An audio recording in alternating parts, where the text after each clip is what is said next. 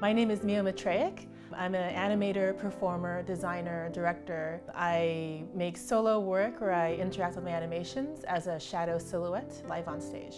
I was born in Seattle. I spent my childhood in Japan and we moved to the Bay Area. It's just been kind of up and down, Southern and Northern California. Um, and I live in Los Angeles and I've been here for the last 10 years or so.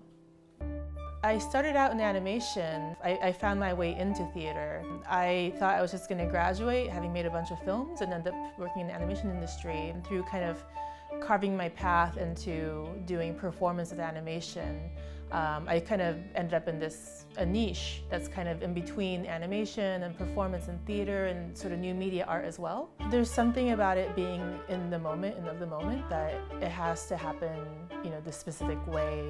I really like the element of illusion and magic that unfolds. It's just kind of a, a different level of storytelling for me.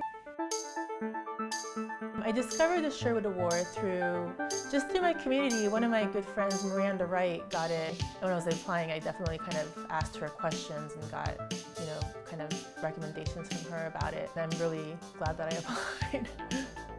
Receiving the Sherwood Award has um, helped my career. So much of it is about me finding my own path of how do I do this, how do I put myself out there. So getting the recognition from CTG and Sherwood Award is really reassuring and helpful. It's amazing to feel just as valid to kind of come into theater from outside of theater. It's going to be really amazing for me.